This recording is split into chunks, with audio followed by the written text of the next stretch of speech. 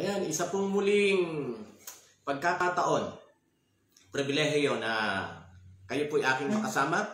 At saan dako man po kayo ng mundo naroon ay nagpapasalamat po ako sa Panginoon na muli tayong pinagkalooban ng panibagong buhay at lakas upang gamitin natin hindi lang sa mga bagay na gagawin natin para sa ating sarili, kundi higit sa lahat, gawin natin at gamitin natin para sa mga bagay na makapagbibigay kalwalhatian sa ating Panginoon. Bueno, isang magandang umaga po sa inyong lahat dito po sa Pilipinas at mga karatig lugar. Sa ibang lugar naman ay magandang gabi. Sa ibang lugar naman ay halos hating gabi na. Sa ibang lugar naman po eh, ano, may hapon ba? O basta, kung anong oras man po kayo, dinarat na ng programang ito, angad ko po na kayo po ay nasa pinakamabuting pangangalaga ng ating Panginoon. Di tayo magpapaligoy-ligoy pa, tayo pong lahat ay sama-samang humiling ng patnubay sa ating Panginoon sa pamagitan ng isang panalangin. Let us pray. Kabanal-banalan po namin Diyos, muli po kayo nagpapasalamat sa binigay na pagkakataon na patuloy nyo kaming pinahihiram ng buhay at hindi lang buhay, kalusugan.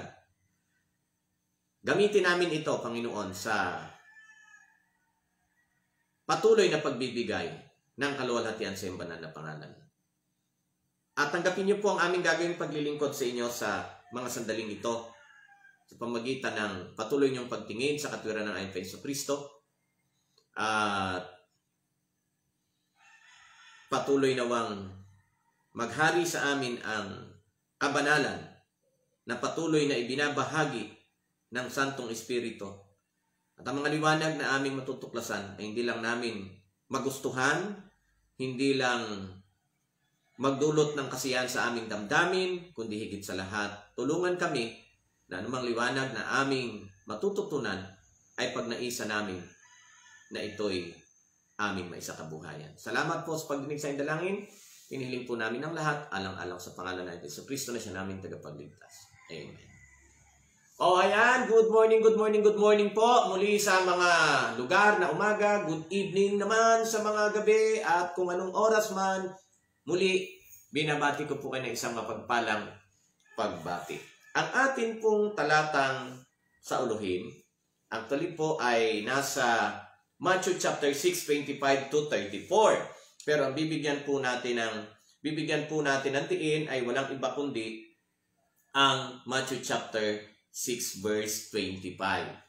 Ang sabi po dito, mga minamahal kong kapatid, is not like more important than food and the body more important than clothes? Daw po, hindi ba't ang buhay ay higit na mahalaga kesa sa pagkain at ang katawan ay higit na mahalaga kumpara o kesa sa damit? Mga kapatid, sabi po, if other people were to calculate how we spend our time, kapag ang ibang tao daw po ay titingnan at malalaman kung papaano natin ginugugol ang ating o yung oras na patuloy na ipinagkakatiwala at ipinagkakaloob sa atin ng Panginoon or allocation in our checkbook.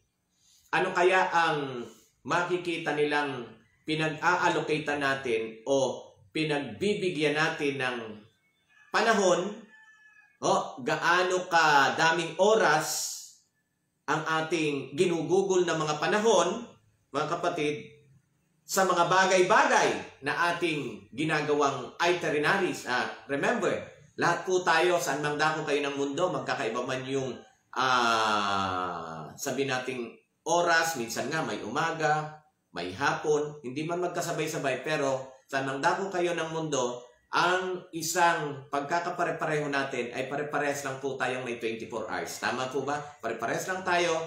Bawat isang araw, pinagkalooban ng Panginoon ng 24 hours. Walang nakakalamang, ho? walang nakakahigit, wala rin namang nagkukulang. So, patas tayo. Pare-pareho tayo ano po? Binigyan ng tig 24 hours o 24 oras sa bawat araw na patuloy na pinagkakaloob sa atin ng Panginoon. Ang tanong, kung titingnan ng mga tao ang mga itineraries o mga activities na ating ginagawa sa araw-araw. Ano kayang matutuklasan nila? Gaanong panahon ang mga ginugugol natin sa mga bagay-bagay?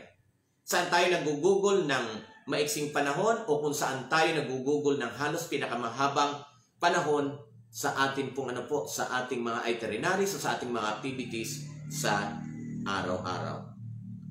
Anong kanilang makikita? Ano ang ating pinapriority?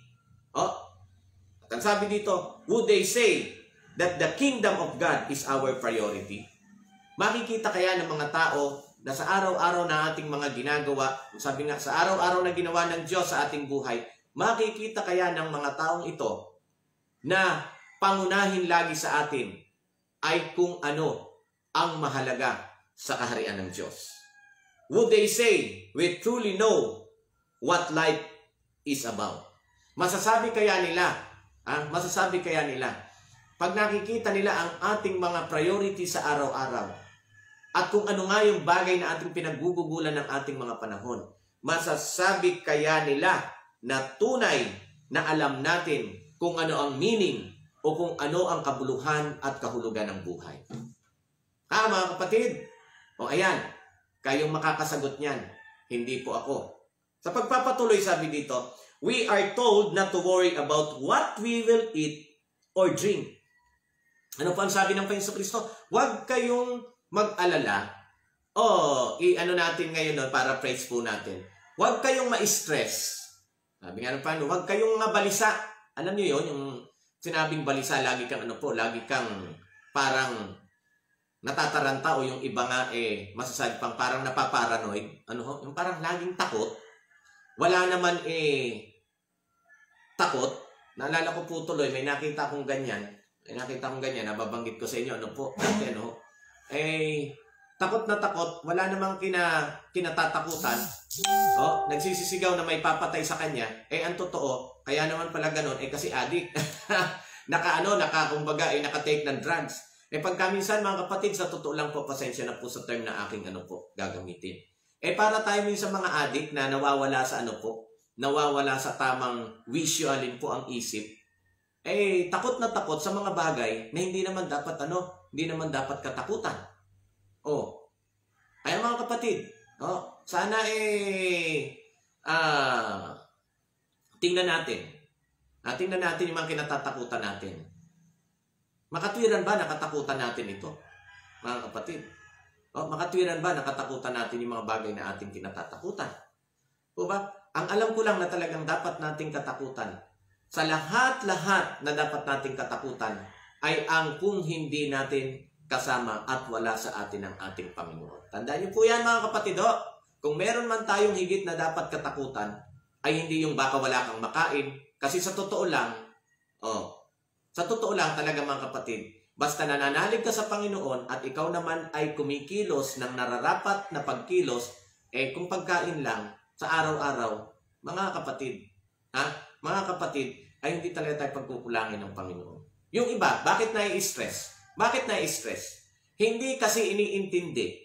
Kaya nai-stress, hindi kasi iniintindi ng mga tao Partikular, tayo pang mga nag-aangkin na tayo yung mga mananampalataya.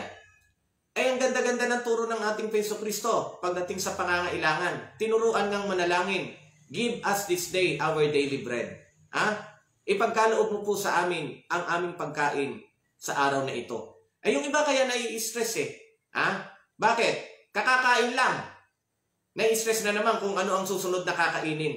Nako mga kapatid. At yung iba, kaya nai-stress, may pagkain na ngayon, ha? Pati yung kinabukasan, pinoproblema kung ano ang kakainin. Ay mga kapatid, ano ho? Ay naku po, ano po ang sabi ng Panginoon? Huwag nyo kasing, kaya yung iba na i-stress dahil wala sa lugar eh. Di po ba? Wala talaga sa lugar. Sabi ng Panginoon, huwag kayong mga balisa. Eh kaya nababalisa ang iba, pinoproblema in advance yung problema na hindi naman problema. Oh, nalito na kayo. ano? Ang iba kaya na-stress kasi wala nga, kumbaga wala nga sa hulog, ano ho. Natatakot doon sa mga bagay na pwedeng mangyari na sa totoo lang, malamang sa malamang at mas malaking porsyento na yung kinatatakutan ay hindi mangyari. Kaya ano tayo mga kapatid, easy lang ho, matuto tayo ho. Bawa dyan lang sa pagkain sa araw-araw. Ang sinabi ng Panginoon, ipagpanalangin ninyo, nabigyan kayo ng pagkain sa araw-araw. Eh ang iniisip mo agad, kung anong kakainin nyo sa loob ng isang taon, eh mai-stress ka nga. But if you know how to live one day at a time, kung matututo lang tayo mga kapatid, Matututo lang tayo na makontento, na mabuhay doon sa panahon na ipinagkakaloob sa atin ng Panginoon. Ay, sabi ng mga kapatid nating Bisaya, lalo't higit sa lahat samahan ng tiwala sa Panginoon. Pangunahin ng pagkapit uh, at uh, pagkakaroon ng tiwala sa Panginoon ay talagang if we know and we learn how to live one day at a time, sabi ng mga kapatid nating Bisaya, talagang totoong magiging hayahay ang buhay. Ha, mga kapatid? So, tandaan po yan. Kaya, ah, tingnan natin yung ating mga priorities at yung ating mga attitude para maiwasan natin ano po, kaya maiwasan natin itong mga tinatawag na pagkabalisa. At sa pagpapatuloy, mga minamahal kong kapatid, sa dito, why we are told not to worry about what we will eat or drink. O, bakit daw po? Pinagbili na ng ating Peso Kristo ang kanyang mga alagad at tayo na rin po sa panahong ito na wag an po, wag mangamba o wag mabalisa kung ano alin po, kung ano ang ating kakainin o iinumin. Why do we have that tendency? Bakit meron talaga tayong prone tayo sa ganong ano, sa ganong pag-iisip at ganong sitwasyon? Ha? Na mabalisa kung ano ang ating pangangailangan. Ha? At ang sabi dito, and why would God, kinig po maigi, napakalaga, why would God turn our attention away from it. Mm. At bakit gusto daw ng Diyos na ano po? Na alisin ang ating mga kaisipan ha? na halos doon na lang nakatuon.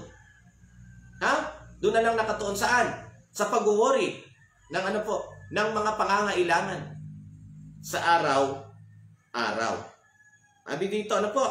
Unang-una, okay? The answer to the first why ano po ba yung unang tanong na sinasabi, mga kapatid? Why do we have that tendency? Oh, ang sagot to, bakit meron tayong ano, ganong tendency? Okay? And sa dito, the answer to the first why is that we get our priorities makes up. Tama mga kapatid. Bakit may ganun tayong tendency? Yung ano po, yung uh, pag-worry. Eh kasi nga, oh, wala sa tamang ano po, wala sa tamang lugar ang ating mga pinaprioritize. No? Sabi ko nga, ng mga nakaraan, at madalas ginagamit din ito ng aking mga kasama, yung salitang, may mga tao kasi na mini-major ang minor at mina-minor ang major. mga kapatid, totoo po yun. May mga tao kasi mapapansin nyo talaga na kung alin ang halos hindi naman dapat pagtuunan ng sobrang effort, doon nila ibinubuhos ang kanilang ano po, yung kanilang panahon at mga pagpapagal. Samantalang yung mga dapat unahin, yun naman ang kanilang ano po, ha? Nabibigyan ng ano, ng konting panahon o masaklap nga nito, malamang hindi pa nga nabibigyan ng kahit konting panahon. O sa madaling salita, totally hindi nabibigyan ng panahon. Kaya yung po, kaya nagkakaano po, kaya pinapa, uh, layo tayo ng Panginoon sa ganung kaisipan kasi ulitin ko po, meron ngang ano, meron ngang mga mina-minor ang major at merong mini-major ang minor. So kaya, ano ang sabi ng ating Panginoon Kristo? Iwasan, ha? huwag kayong mga balisa kung ano yung kakainin at anong inyong uh, uh, iinumin. Kasi nga ano po, kasi nga mini-mix up natin ang ating mga priorities. Hindi na ilalagay ha, sa tama kung ano ang ating mga dapat unahin. Ulitin ko po, ulitin ko po. Katulad ng lagi, lagi kong ginagawang ilustrasyon. Kapag oh, ikaw ay may karitela, siguraduhin mo, siguraduhin mo kung sino ang ilalagay mo sa unahan at sa hulihan para tumakbo ito ng maayos. Di po ba? Oh, Kapag ikay may karitela at nilagay mo sa unahan ang kariton at yung kabayo ay ilalagay mo sa hulihan, sigurado. po ba mga kapatid? Sigurado, ang karitela mo ay hindi tatakbo ng maayos o malamang hindi nga makagalaw ng matino. Bakit? Eh, baliktad eh.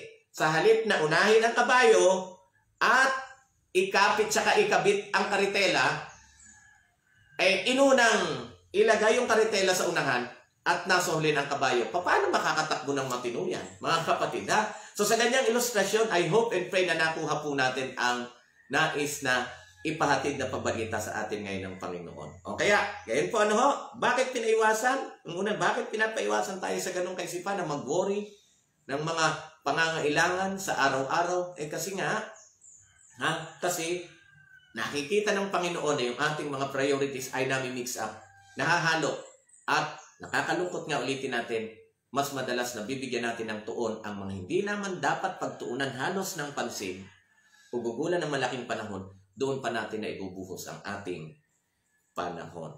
At sabi dito mga kapatid, we spend all time, all our time trying to sustain ourselves so that we might experience and enjoy life. Hmm, ano? Halos ginugugol natin ang buong panahon natin ano po na masustain, mapanatili at makaranas tayo ng ano? Makaranas tayo ng enjoyment o kasiyahan sa ating buhay. But, sabi dito, we never get around. Okay? We never get around to experience and enjoying life. Pero hindi natin ano po, na hindi rin natin makamit. Alin yung enjoyment na ating ano po, na ating gustong makamtan. Why? Because we're spending all our time on sustaining it. O oh, ayun. I-spend kasi natin alin? Ang ating mga panahon sa pagsusustain o sa pananatili noon, mga giliw kong mga kapatid. Kaya sabi dito, pag ganon, pag ganon ang ating ginagawa, ang sabi po, our priorities are wrong. Tama. Kaya kahit anong ginagawa mo, parang hindi ka nag enjoy sa buhay. Sa madaling salita, maikling salita, kasi mali ang iyong priorities o mali ang mga bagay na iyong binibigyan ng pansin, tuon, effort at panahon. Eh, mga kapatid, ano? Alamin kung tama ba ang iyong pinaprioritize o ang pinangingibabaw. Pangalawa, sabi dito, the answer to the second why. Ano po yung second why? Bakit gusto ng Panginoon, yung katanungan, bakit gusto ng Panginoon na i-alis ang focus natin sa mga bagay na yon? Sabi po, the answer to the second why is that God wants us to invest in what is valuable. Hmm, mga kapatid, tama po. Bakit sinasabi ng Panginoon ano, na huwag tayong mag-alala doon sa mga bagay na yun? Oh, gusto niyang alisin yung, yung ating attention doon. Kasi, ano po, gusto ng Panginoon na ano po, na ating i-invest, ating i-google ang ating panahon sa kung ano po, kung ano ang tunay na mahalaga. O mga kapatid, ulitin ko po. Walang masama, magsikap ka. Huwag niyo ipagkakamali ah. Hindi ko po kayo tinuturuan ng katamaran. Never ko pong ituturo sa inyo yung katamaran. Pero pansinin po natin, walang masama na magsikap ka, magtrabaho ka, para makaipon ka ng maraming pera. O anuman ang gusto mong maipon. Ang nakakalungkot lang mga kapatid, tandaan niyo po, eh baka dito lang natin ibuhos at igugol ang ating panahon. Ha mga kapatid? Ay nako, hindi pa rin ano po, hindi pa rin magiging tama. Ho, bakit po? Ano po ang sabi ng uh, banal na kasulatan? Part ng Sermon on the Mount, kasi nasa Sermon on the Mount pa rin po tayo. Po. Nito rin po yan. Sermon on the Mount na ano, Huwag na wag tayong ano, ibig sabihin wag hindi naman ibig sabihin na wag tayong magtatrabaho eh kailangan naman natin pero Huwag daw tayong ano po, kung tutusin, huwag tayong mag-iipon ng mga kayamanan sa mundong ito. Ha? Bakit? Ang mga kayamanan sa mundong ito ay pwedeng ano po, pwedeng dumating, pwedeng mawala. Yun nga po, no? Come and go. So sa madaling salita, kung ano man ang mga ma-accumulate nating mga bagay-bagay sa mundong ito, ay talagang masasabi nating hindi ito panghabang buhay at hindi ito pang matagalan. Kundi ito ano po, halos lahat pansamantala lang, mga kapatid. Eh kung doon mo igugugol ang iyong panahon sa mga bagay na makamit mo man, eh mawawala rin pagdating ng panahon. Ang tanong, ano ang naging benepisyo mo sa todong pagsisikap mo, makamtan mo yung mga gusto mo, pero pagdating ng panahon, mawawala rin naman ito sa iyo. Ha mga kapatid, kung pagdating ng panahon, mawawala rin naman ito sa iyo. Kaya isang pamusong ano po, ah, alam ko pong alam na alam na natin itong talatang ito. Pakinggan niyo po maigi ano po. Ito'y paulit-ulit na nating binabasa pero babasahin lang uli natin para malaman natin kung ano talaga yung dapat nating i-prioritize sa buhay na ito. Ha?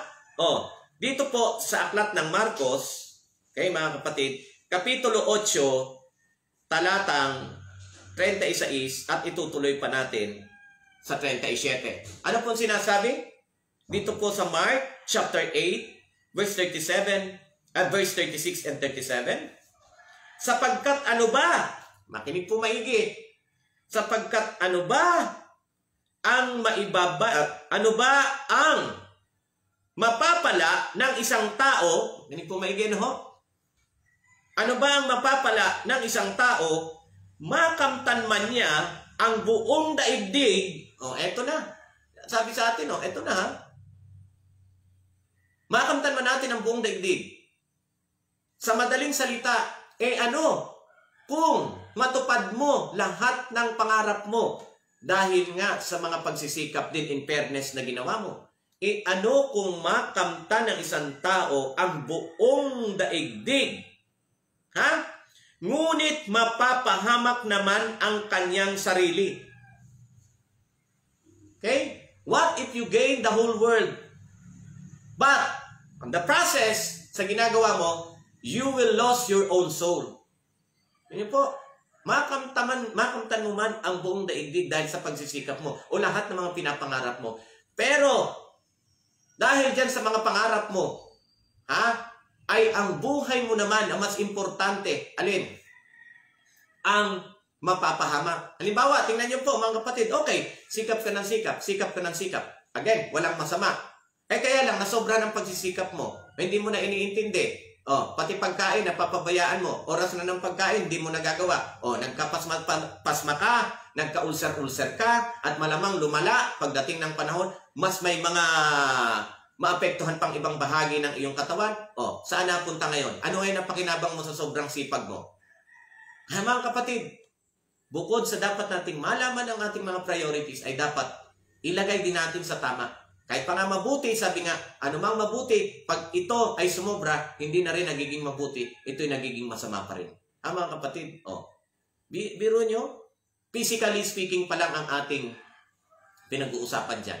Eh lalo naman ah, kung dahil sa sobrang pagsisikap mo, halos doon mo na ibinubuhos ang iyong panahon sa mga pagsisikap mo dahil sa may pangarap ka at ulitin ko walang masama. Pero nang dahil sa iyong pangarap, napalayo ka naman sa Panginoon, ay lalo naman, mga kapatid, lalo naman, lalo naman, nakakalungkot. Ano ho? Oh, bigyan po kayo ng classic example. Madalas ko ito nasasabi ng mga nakaraan, pero dahil sa ating pag-aaral ngayon, sa ating uh, devotional, muli kong ibabalik. Yung, uh, ito yung totoong nangyari po. Uh, way back mga mid-90s, 1996 up, uh, above, kami po'y napatira dyan sa may West Avenue. Malapit po dito sa may SM North EDSA. Napatira po kami dyan. Ah, nagkataon na doon sa tinitirhan namin, ay tabing-tabi lang talaga ng pader namin. Biglang nagpa, nagkaroon ng uh, uh, building na ginagawa, nagkaroon ng construction site, at dahil malaki at mataas na building ang ginagawa, sa so madaling salita, maraming trabahador. To make the long story short, naisip po namin, aba, magandang ano to, extra income. Nagkarinderya po kami. Nagkarinderya po kami. At habang kami nagkakarinderya, of course, may mga nagiging suki na kami. At syempre, dahil po tayo ay Adventist, Seventh-day Adventist, eh bagamat ang pasok ng mga construction worker ay mula lunes hanggang hanggang Sabado, eh syempre nagtitinda lang kami mula lunes hanggang biyernes. Isang araw, nung mag-open uli kami lunes, may isang construction worker na nakapansin po siguro na ting Sabado hindi nga kami nagtitinda. Aba, biglang nagtanong, sabi kuya, bakit sarado kayo at di kayo nagtitinda pag Sabado, eh, pumapasok naman kami at marami namang bibili pa. Abay sabi ko, eh abay, kaibigan, sabi ko eh talagang kahit ibigay mo sa akin lahat ng kikitain sa pagninegosyo, pag araw ng sabat, hindi ako magtitinda. Magkamatayan na, ibigay mo man sa akin lahat ng kikitain, oh, na pera, sa buong mundo, sa araw na yan, pag titindahin mo ako, mamatay na lang ako kaysa ako'y magtinda. Sabi niya sa akin, ay nagtaka siya sagot ko, ay bakit kuya? Sabi ko, ay kasi kami po ay kabilang o kaanib sa kaya tinatawag na Seventh-day Adventist Christian. Aba, ano sabihin kong kami Seventh-day Adventist Christian, namulaga para siyang na-surprise at biglang sabi niya sa akin, Kuya! Sabadista ka? Abay sabi ko, oh, ay bansag sa akin yun, di po ba? Kasi, oh, ay bakit? Alam mo, nasa badista ko. Sinundan ko yung term niya. Sabi niya, alam mo kasi kuya, ang totoo, sa badista ako sa probinsya namin. Okay pa, kapatid, sa totoo lang, mixed emotions na marinig ko. Sa badista ako sa probinsya namin. Naisip ko, eh, sa badista pala tong taon to, pero bakit hanggang sa probinsya lang? bakit hanggang sa probinsya lang nila? Eh di tinanong ko, o ano nangyari? Bakit dito? Hindi ka na ba sa badista? Oh, sinusundan ko yung time niya ha, nasa badista. Sabi, hindi kuya, kasi alam niyo, eh, nung ako'y bagong salta rito, ako'y apply ng apply mga trabaho, iniiwasan ko rin naman sana na makapag-apply ng trabaho na may Sabado. Pero kuya, wala talagang tumatanggap sa akin eh. Eh, wala na akong budget. Oh, napilitan na ako kuya, napilitan na ako natanggapin ang trabaho kaysa wala na akong makain. Alam niyo mga kapatid, alam niyo mga kapatid, sa totoo lang, totoo lang, ah, totoo lang. Nakakalungkot, nakakalungkot. Isipin na may mga kapatid, o, hindi natin sila hinahatulan ha, wala tayong hinahatulan. Pero sa totoo lang, di ba nakakalungkot na may mga kapatid na umaabot sa ganong sitwasyon? Kakalungkot mga kapatid, na may mga kapatid na umaabot sa ganong sitwasyon. Na mas pina-priority alin po ang kanilang pangangailangan kaysa sa i-priority ang kalooban ng Panginoon. Oh, oh simpleng-simple bago ko iwanan ito. Sa mga may anak na nagpapaaral, bato-bato sa langit mga kapatid, wala po akong galit sa inyo. Mahal ko po kayo. Pero kailangan ko rin lang sabihin ito bilang magsisilbing babala sa atin. Sa mga kapatid na may mga pinag-aaral, ngayon pa lang mga kapatid, ha? yung mga anak niyong pinag-aaral, kumusta? O baka sa pinapasukan, hindi. Kaya nga po itong sinasabi ko rin, ito rin ang danger kapag tayo nagpapapasok o uh, nagpapaaral ng ating mga anak labas sa ating institusyon. Do hindi ko sinasabing uh, magpaaral kayo sa ating institusyon ng hindi nyo kaya, ha? Oh, so maging practical din tayo. Pero pag tayo lalabas sa ating mga institution, sa ating mga educational institutions, kumusta? Marami pa akong kilala, marami pa akong kilala. Nagiging dilema, pagpasok pa lang ng ano, yung pasok pa lang, marami sa ating mga estudyante na nasa kolehiyo ay mga kapatid. Oh, marami diyan napipilitan. Oh, hindi ko lang alam kung napipilitan nga o willing din lang naman din sila. Ha? Oh. Na kahit araw ng Sabado, may pasok, mga kapatid. Marami diyan. Ang parang kampante, kampante. Na kahit araw ng Sabat eh papasok. Kita nyo, papunta pa lang sa proseso ng pagtupad ng pangarap nyo. Naging secondary na agad ang dapat nyong i-priority, which is, ano na nga sabi? Seek ye first the kingdom of God and His righteousness and all these things shall be added unto you. Mas naging pangunahin sa iyo alin? Ha? Ang tuparin ang pangarap mo kay si Hoda, sabi nga nila, kay si Hoda, na ma ibaba mo ang pamantayan na nais ng Diyos na dapat sana ipanghawakan mo. Matupad lang ang pangarap mo. Ha, dyan pala mga kapatid, ano? Oh, ay lalo naman na, pag dumating doon sa panahon, o sige, nakagraduate ka na. Nakagraduate ka na. Papasok ka na ngayon, naganap ka na ng trabaho. Ay kumusta? Matutulad ba tayo doon sa ating isang kapatid? Ha? Na dahil, ano po, na dahil sa, eh, wala na daw siyang budget, eh, sige na, tumanggap na ng trabaho. Do alam na alam niya, na ano po, alam na alam niya, na malalabag niya ang kalooban ng Panginoon. Kaya mga kapatid, ano sabi sa, eh ano kung makamtan mo ang buong sanlibutan sa pagsisikap mo? Sige, nakamtan mo. Pero nawaglit naman ang kaluluwa mo.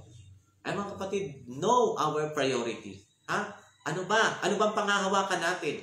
mga bagay na mapansamantala o mga bagay na ano po, na pangwalang hanggan. And take note, take note, kapag ang isang bagay ay mahalaga, ay talagang pinagbubuhusan ng effort yan. Tama po ba mga kapatid? Pinagbubuhusan ng effort yan.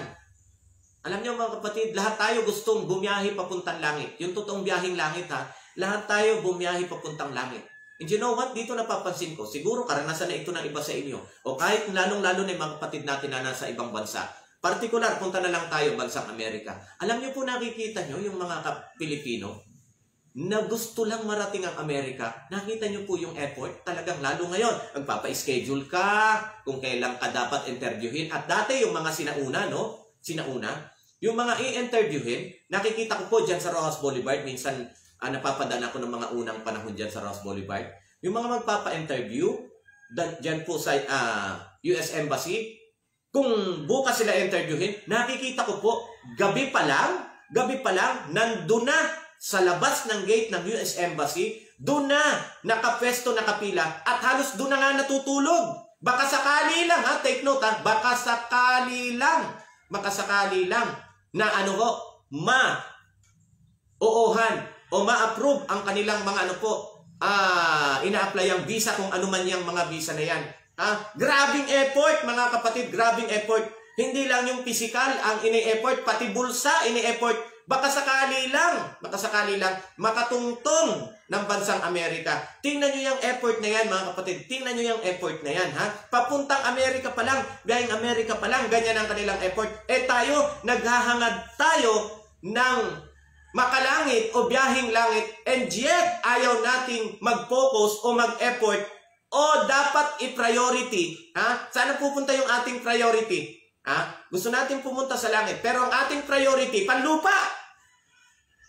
Oh, paano tayo makakarating ng biyaheng langit yan, mga kapatid? Ha?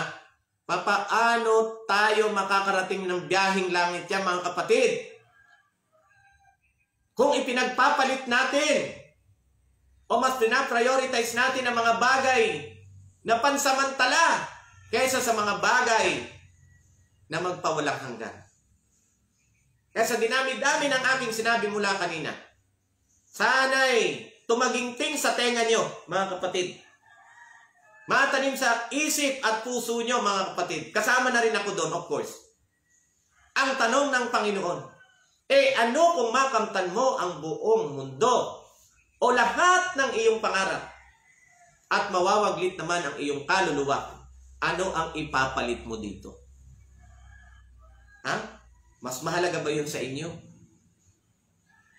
Yung pagtupad ng pangarap nyo na kayo ay napalayo sa Panginoon? O mas magandang unahin yung hanapin ang kaharian ng Panginoon at kasama nyo siyang tutuparin ang iyong pangarap. Oh, di ba napakasarap na natupad mo yung pangarap mo? nakasama mo ang Panginoon. Kaysa naman, natupad mo ang pangarap mo, napalayo, na wala ka naman saan. Na wala ka naman sa Panginoon. Ah, mga kapatid, kaya nga po, sa malapit na pagtatapos, mga kapatid, ah, kapag ganyan daw ang ating ano po, kapag ganyan daw ang ating ginagawa, ha? Eh para kang ano, sa totoo lang, naaalala niyo sabi dito, oh, they are not valuable. They only support what is valuable in life. We act as though the wrapping is more important than gift. Oo mga kapatid, nakakaano no? Insa nakakatuwa, no? Na kung magbibigay ng regalo, 'di ba minsan?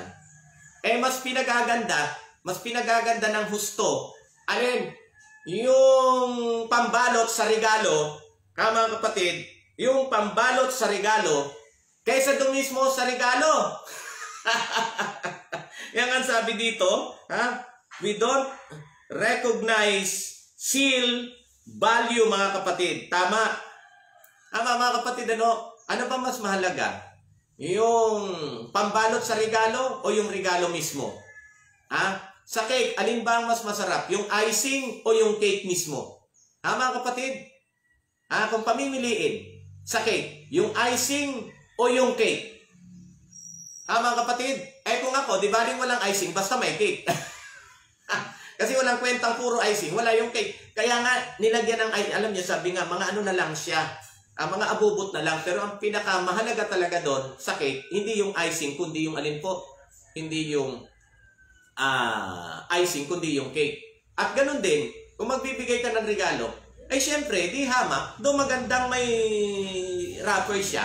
Pero, di hamak, sa ayaw at sa gusto natin, sa totoo lang, di hamak naman talaga na mas may value yung alin? Yung regalo na binalot kaysa doon sa ipinambalot. Hmm. I hope na nakakukuha niyo po ang sinasabi ng ating ilustrasyon. Ha? Ulitin ko. Yung sinabi ko kanina, marami kasi mini-major ang minor at mina-minor ang major. Oh, para kang nagregalo na mas pinahalagahan mo alin ang balot kaysa sa nakapaloob na regalo oh, sa ibabaw ng balot na yun. Ah, mga kapatid. Kaya, malapit na pagtatapos mga kapatid, ang tanong, what are we to do with mixed up priorities and misplaced values? Ayon, ano daw po yung ating gagawin sa mixed up priorities o kumbaga yung wala sa tamang hulog na mga dapat nating pangibabawin o pangunahin. At yung mga values na sa tingin natin mahalaga pero at the end of the day, wala palang kwenta. Anong dapat nating gawin sa mga bagay na ito? Mix up priorities and, ang sabi dito, and yung tinatawag na misplaced values. Ano dapat gawin? Ang sagot, sabi dito, lay them aside. Hanggat may panahon, lay them, lay them aside ating silang ano? Isang tabi. Yun lang ang dapat nating gawin. Isang tabi sila. Kasi mix up, wala sa tama. Oh. Wala sa tama. Tapos, pinapahalagahan mo yung mga bagay na hindi naman talaga dapat pahalagahan. Oh. Kaya nga, ano dapat mong gawin? Habang may panahon, lay them aside. Nasabi dito, look at what God Thus with his birds and his lilies. Tingnan nyo nga daw. Ano sabi ng Tingnan nyo yung mga ibon na yan. Tingnan nyo yung mga uh, liro na yan sa parang. Ha? O, tingnan nyo. Di ba? Hindi sila nag-worry. Ulitin ko nga. Tingnan nyo, uwak, sabi ng Panginoon. Dinami-dami ng ibon, uwak ang ginamit. Bakit po? Ulitin ko po yung mga sinabi ko na dati. Hindi nyo napakinggan. Ha? O, Tama, may nag-ano rito, comment dito. Siyempre, ang regalo kahit walang wrapper. Tama! Oh, tama kapatid, kung sino ka man, hindi ko kasi nakita ngayon dito. Regalo talaga kahit walang wrapper. O tama po yun. Oh, sabi ng Panginoon Kristo, ba't kayo mag-uuri? Tingnan nyo, oh, tingnan nyo. Mga ibon, lalo na yung uwak, walang kwenta sa inyong paningin kasi kabilang sa karumalduman. Walang kwenta, hindi yan nagtatanim, hindi nag-aanim. Wala yung maliit na palabigasan, wala rin malaking palabigasan. Pero hindi pinababayan ng inyong ama. Kayo pa. O kayo mga kapatid, grabe. No? Mm, grabe. O eto, gusto kong sabihin sa inyo, sa mga anak na nakaranas ng inyong magulang ay talagang masasabing great provider. Nangangamba ba kayo? Nangangamba ba kayo? Nag-worry ba kayo? Na alam nyo na ang inyong magulang ay great provider? Natatakot ba kayo na baka ang tatay nyo o nanay nyo ay hindi kayo bigyan ng mga bagay na kailangan nyo? Ha? Abay kung hindi kayo nangangamba, nandyan ang nanay at tatay nyo. At dahil nandyan, alam nyo na ipoprovide lahat ng pangangailangan. Eh lalong hindi tayo dapat mangamba kasi yung ating Diyos sa pinaglilingkuran kahit kailan hindi mawawala. Yung mga nanay at tatay natin, isang araw mamamatay din yan. Tama po mga kapatid. Yung mga nanay at tatay natin dito na ating inaasan, isang araw mawawala rin yan. Pero ang Diyos na ating pinaglilingkuran kahit kailan hindi mawawala. Mananatili siya magpawalang hanggan. Kaya ano ang dapat natin pangambahan? Ano ang kinakatapos natin? Ha? Kaya, i-set aside po yan. I-lay aside po yan. Tanggalin po yan. O, yung mix up priorities at yung values na ano po, na wala namang ano po, wala namang katuturan. Sabi dito mga kapatid, yung lilies at sparrow, they spend all their lives just being for the glory of God. Oo, di ba no? Oh. Ginugugol nila ang buong buhay nila sa pagbibigay kaluwalhatian sa Panginoon. Ay much more so tayo. Tayo lang ang nilalang ng Diyos na tinatawag na rational being. Tayo lang nilikha ng Diyos na hindi lang may isip kundi may kalayaang mamili at mga twiran. Oh, kung yung mga hayop na yun na walang kalayaang mamili at walang uh, kalayaang mga twiran ay nagagawang paluwalhatian o bigyan ng kaluwalhatian ng Panginoon, how much more tayo? Tayo pa man din lang ang bukod tanging binanggit na nilikha ng Diyos ayon sa kanyang wangis. Ha mga kapatid? Oh. Kaya mga kapatid, relax. Kung yung mga bahagi ng nature na nilikha ng Diyos ay nabibigyan siya ng kaluwalhatian, mabibigyan din natin ng kaluwalhatian ng ating Panginoon sa pagiging ano po, sa pagkakaroon natin ng tiwala sa Kanya. Okay? Sa pagkakaroon natin ng tiwala sa Kanya. So ilagak natin lahat ng ating ano po, ng ating mga kinatatakutan sa Panginoon. At sigurado, pag sa Panginoon ka kumapit, hinding hindi kanya ano po, hinding hindi kanya pababa iya. Sabi dito, we need Jesus to come alone and radically revise our conception of things. Tama. So kailangan natin ang Panginoon na talagang radically dumating sa ating buhay at i-overhaul tayo. I-overhaul tayo. Kumbaga sa mga sa, uh, maaring sasakyan, maaring grabe na ang sira ng mga pyesa na kinakailangan hindi lang talaga maintenance kundi talagang kinakailangan ang overhauling. So mga kapatid, kung kinakailangan i-overhaul ng Panginoon ang ating buong pagkatao, hayaan yung ipahintulot sa Panginoon na gawin ito. At bukod tanging ang ating Paiso Kristo o ang kadyusan ang makakagawa sa atin yan. Ha? Hayaan natin pumasok sa ating buhay ang Diyos upang ang ating mga buhay ay mabago. Sa dito, He takes our upside down thinking here and turns it upright. Tama. Pag pinapasok natin sa ating buhay ang ating Paiso Kristo, hayaan natin siya ang mangibabaw, talagang maisa sa tama ang mga priorities ng ating buhay. Sa dito, let us measure our priorities with those God has for us. Tama, sukatin natin ang ating mga uh, gustong pangibabawin sa kung ano ang gusto ng Diyos na dapat natin bigyan ng pangunahing pansin. Kaya hindi magsasawang ulit-ulitin, seek ye first the kingdom of God and His righteousness and all these things shall be added unto you. O ayan mga minamahal kong kapatid, bago natin basahin ano po, yung ating quotation, okay, quotation of the day. Okay? Bago natin basahin, ito naman mula kay C.S. Lewis, isa rin po itong manunulat, kristyanong manunulat. Ano po? C.S. Lewis, bago natin basahin, meron po akong babasahin, ano po? Meron po akong babasahin mga talata dito po sa aklat ng awit, aklat ng mga awit, okay?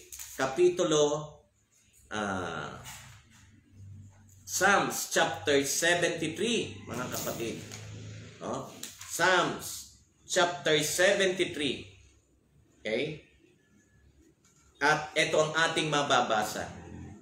Simulan natin sa verse 23. Pansinin niyo po. So sana panghawakan natin itong mga talatang ito ha para matanggal yung ating mga alalahanin. Okay, ang sabi po, simulan natin sa verse 23 ng Psalms chapter 73. Awit, kapitulo 73, talatang 23 patuloy. Ang sabi po sa atin ay ganito. Gayon pa may sinasamahan mo ako sa aking paglakad, ay inaakay mo ako. Okay? Ang mga payo mo'y umaakay sa akin, marangal na ako'y iyong tatanggapin. Sino pa sa langit kundi ikaw lamang? Makinig po maigi, ano ho? Sino pa sa langit kundi ikaw lamang at maging sa lupa'y aking kailangan? Oh, sino ano ho? Ilagay natin to sa ating uh, isip. Sino pa daw sa buong langit at buong lupa ang ating kailangan? Ha? Oh, kapag papatuloy, puso ko't kaluluwa, kung nanghihina man, ang Diyos ang lakas kong tanging kailangan. Oh. Mga kapatid, nag-worry kayo? Kailangan nyo ng encouragement at lakas? Anong sabi po? Anong kayo? Ang Diyos lamang ang tangi niyang ano, ang tangi niyang kailangan. Ganon din sa atin ngayon. Siya lang talaga ang ating kailangan. Para hindi tayo mag-worry. At matuto tayong pangibabawin kung ano ang priority ng Panginoon, yun din ang maging priority ng ating buhay. Okay? Ito po, sa pagpapatuloy, yaong hihiwalay sa iyo'y mamamatay. Oh, sinin? Yaong hihiwalay sa iyo mamamatay. Kaya nga anong sabi natin kay Kristo? Kung kayo'y hiwalay sa akin, wala kayong magagawa. But with me, you can do all things. So, ang sabi ng Apostol Pablo, with Christ, we can do all things. Yun po ang nasa Philippians 4.30. Kaya ang sino mang hihiwalayan niya sa Panginoon ay mamamatay. O, kung tayo nananatili sa Panginoon, alam natin kung anong priority natin. Sabi dito, mga kapatid, verse 28, Ngunit sa sarili, tanging hangarin ko, mga kapatid, tingnan nyo po, Ngunit sa sarili, tanging hangarin ko, sa piling ng Diyos manatili ako. Oy, purihin ng Panginoon. Ganyan din ba ang ating priority? Ah, mga kapatid? Ganyan din ba ang ating priority? Na ano? Na ang ating sarili ay ating laging ikakapit sa Panginoon. O lagi nating ano? Pananatilihin ang Diyos sa ating buhay. At sa piling ng Panginoong Yahweh, ako'y mapanatan. Oh, pansinin nyo? Kaya, stress eh. Kaya, stress, distress. Ha? Oh, bakit? Eh, wala eh. Mas inuunang isipin yung mga bahay na magbibigay talaga ng stress eh. Kaysa sa unahing ilagay sa buhay ang Panginoon at hangarin na manatili sa kanilang buhay ang Panginoon. Dahil kapag nasa atin ang Panginoon, tandaan niyo po, kahit may bagyo, kahit may bagyo, magiging panatag ang ating buhay. Hallelujah! Purihin ng Panginoon mga kaibigan at mga kapatid. Ano po? Ulitin ko, kapag nasa atin ang Panginoon, kahit may bagyo, magiging panatag ang ating buhay. Tandaan, ating Peso Kristo, di po ba? Oh, Kasama niyo yung kanyang mga alagad. Oh, dumating yung ano po, dumating yung malakas na hangin. Natakot yung ano po, natakot ang mga alagad. Baka tumaob ang kanilang bangkang sinasakyan. At nung gisingin nilang ating Paiso Kristo, kahit yung hangin na nagiging sanhi ng masamang panahon ay tumigil. At doon nagkaroon ng ano, kapanatagan, kapayapaan ang kanilang mga kaluluwa. Ay mga kapatid, tandaan niyo po, tandaan niyo po, pag nasa atin ang Panginoon, talagang mapapanatag ang ating buhay. Hindi ko sinasabing walang problema darating, hindi ho. Pero kahit may problema, panatag tayo. Panatag tayo. Katulad ni Apostol Pablo, anong sabi niya? Rejoice in the Lord always. Then again, I say rejoice. Philippians 4.4 ah, Lagi kayong magalak sa Panginoon. At inuulit ko, lagi kayong magalak sa Panginoon. Eh si Apostol Pablo nang sinasabi niya yan mga kapatid, hindi siya nagsha-shopping. Hindi siya namamasyal kung saan saang uh, lugar. Kundi sinasabi niya yung rejoice in the Lord always. And again, I say rejoice. Sa Apostol Pablo, ayon po sa mga pag-aaral, habang sinusulat niya yan, ay nakakulong. At malapit ng ano po, malapit ng pugutan ng ulo. Pero sa kabila ng lahat, dahil nasa kanya, at sabi niya nga, kilala ko ang Panginoon o si Kristo na aking pinagkakatiwalaan. Tingnan niyo, kahit malapit ng mamatay, naisigaw pa rin. Magala kayo sa Panginoon. At inuulit ko, inuulit ko, magala kayo sa Panginoon. Kaya mga kapatid, po natin, ngunit sa sarili, tanging hangarin ko, sa piling ng Diyos, manatili ako. Sa piling ng Panginoong Yahweh, ako'y mapanatag. Ang kanyang ginawa'y aking ihahayag. Kaya ayan mga kapatid, hindi na ako nagtataka kung may mga tao dahil sa sila'y natutong manatili at panatilihin ang buhay o sa buhay nilang Panginoon, natuto silang ano po, i-prioritize ang mga bagay na mahalaga sa Panginoon. Ulitin ko, walang masama maghangad ng mga bagay-bagay sa mundong ito, pero pakiusap, sana hindi silang mangingibabaw, kundi ang lagi nating pangingibabawin sa ating mga sarili ay kung ano ang mga bagay na may halaga sa pananaw at paningin ng ating Panginoon. The rest are just ano po, secondary. Lahat Oh, pangunahin ng Panginoon at lahat na, asawa, sweetheart, kamag-anak, trabaho, kung ano man, lahat sila sekundary sa ating buhay. Laging pangunahin alin po ang ating Panginoon. O ayan mga minamahal kong kapatid kay Kristo, maraming maraming salamat po. At ang ating ano po, at ang ating quotation for the day ay nagmula po kay C.S. Lewis. At ang sabi dito, You can get second things by putting them first. Tama? Ha? Hindi ka ano, hindi ka makakakuha niya ng ano? Secondary o malawang uh, sabihin na natin, less ang importance na gagawin mong ano? Gagawin mong pangunahin. Hindi pa pwede na yung second ay gagawin mong first. And, ang sabi dito, you can get second things only Oh, you can get second things only by putting first things first. Tama! mga kapatid, ulitin natin. You can get second things by putting them first. You can get second things only by putting first things first. Oh, ano ba ang ating first thing na dapat? Sipin. Manatili sa Panginoon. Eh ano? Ang mga taong nananatili sa Panginoon, ang sabi, kahit may bagabag o may mga suliranin, siya'y panatag. Ha? Siya'y panatag. Again, seek ye first the kingdom of God and His righteousness and all these things shall be added unto you. At tama-tama po, pamagat po ng ating topic ngayon, first things first. Unahin yung dapat unahin at sa atin bilang mga Kristiyano, alam natin kung ano ang dapat o hindi ano, kundi sino ang dapat nating pangibabawin sa ating buhay. Ayan po, uh, pasensya na, ano ho, wala na tayong masyadong shoutout ngayon, pero, aha, sandali lang po, kasi iba nga yung ating, ano rito, position. Oh. Okay.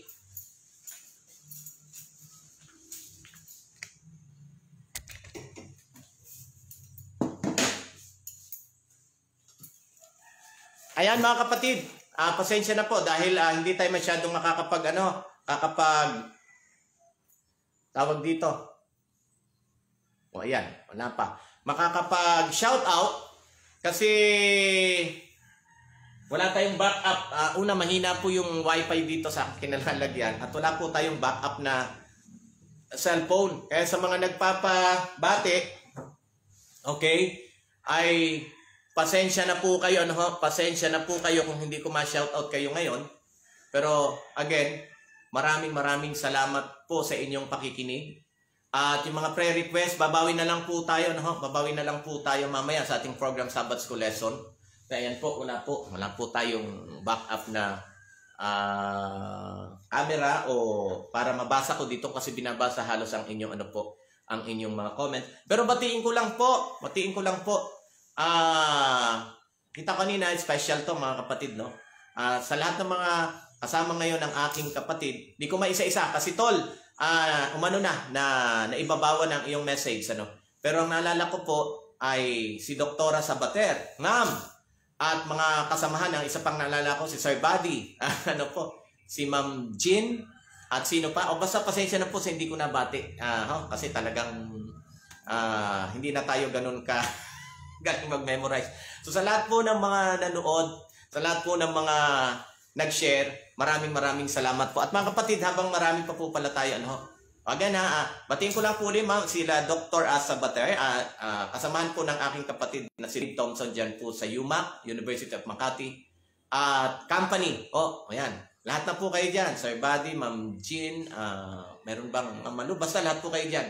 Kama ng aking kapatid dyan sa University of Makati. Uh, work ano niya, workmate niya po. Uh, good morning po sa inyo ha. Keep safe po kayo. Maraming maraming salamat at nadadamay kayo ng aking kapatid sa kanyang panonood ng ating devotional. I hope na kayo rin po ay nakakaramdam ng blessing.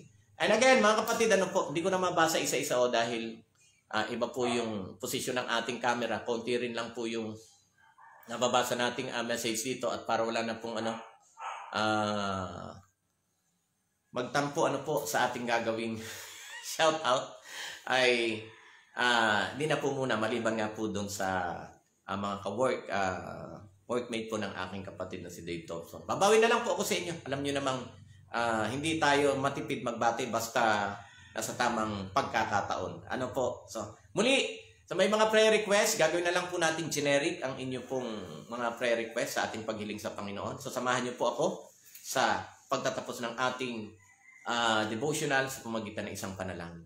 Kabanal-banalan po namin Diyos, muli po kayo nagpapasalamat sa binigay na panahon at pagkakataon sa patuloy na pagbibigay ng buhay at hindi lang buhay kundi kalusugan.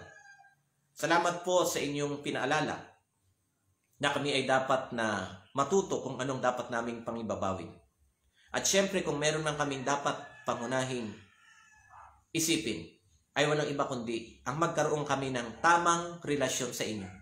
At kapag kami nagkaroon ng tamang relasyon sa inyo, sigurado naman po na magiging tama rin ang mga priorities na aming gagawin o mga priorities ng aming buhay at mga bagay na pahahalagahan ay ang mga tamang bagay na may halaga sa iyong paningin. Salamat po sa muling pagpapaalala na patuloy lang kaming magtiwala at ibibigay niyo ang anumang aming pangangailangan sa tulong ng iyong biyaya. Idinadalayan ko po ang lahat ng mga kapatid sa mga dako ng mundo na magsilbing ilaw at asinan sa libutang ito upang maraming mga taong makakita ng mga kabutihan na aming ginagawa, hindi para kami ang papurihan, kundi para maibalik ang kapurihan at kaluwalhatian na nararapat sa inyo. Panginoon, akin din po idinadalangin lahat ng mga kapatid na may prayer request patungkol sa karamdamang pisikal inyo po nawa silang pagalingin. Higit sa lahat, ganon din po ang mga may karamdamang espiritual. Patuloy kaming tulungan ng iyong biyaya na ito po'y aming mapaglabanan at mapagnagumpayan. Idinadalain ko rin po ang pangangailangan ng bawat isa sa araw-araw. Sapatan po kami sa pang-araw-araw na pangangailangan at matuto kaming makontento.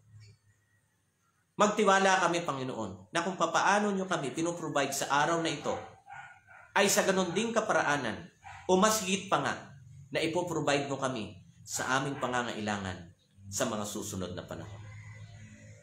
Ay matutunan naming unahin palagi kayo sa aming buhay.